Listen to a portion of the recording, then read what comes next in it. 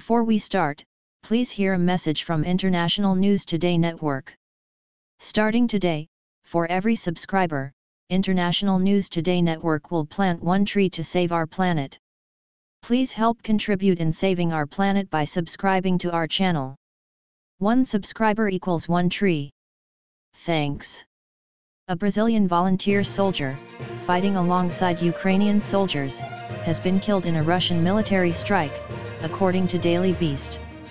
Thalita do Valle was a Brazilian model who was killed when a when Russian forces hit a bunker she was stationed at in Kharkiv, the report further said. The 39-year-old, a sniper, fought against the Islamic State in Iraq before joining the fight in Ukraine, the Beast said. Another Brazilian fighter Douglas Burigo was also killed in the missile strike, which comes just three weeks after do Valle arrived in Ukraine. She had been posting videos of her journey and training in Ukraine on YouTube and TikTok. do Valle received sniper training after joining Peshmergas, the armed military forces of the Kurdistan region of Iraq, according to news.com.au. She participated in animal rescues with various NGOs, the outlet further said.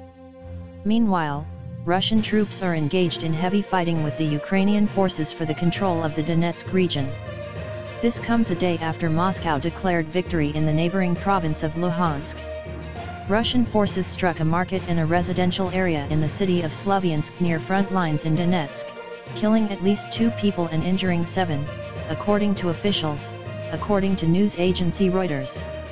Ukrainian officials have called on civilians to urgently evacuate Sloviansk as Russian troops press towards it.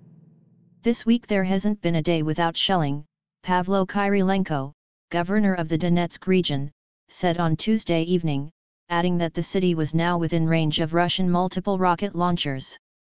The enemy is shelling chaotically, the attacks are aimed at destroying the local population, he added. Russian-backed separatists have seized two foreign-flagged ships in the southeast Ukrainian port of Mariupol, saying they are now state property, in the first such moves against commercial shipping, according to Reuters.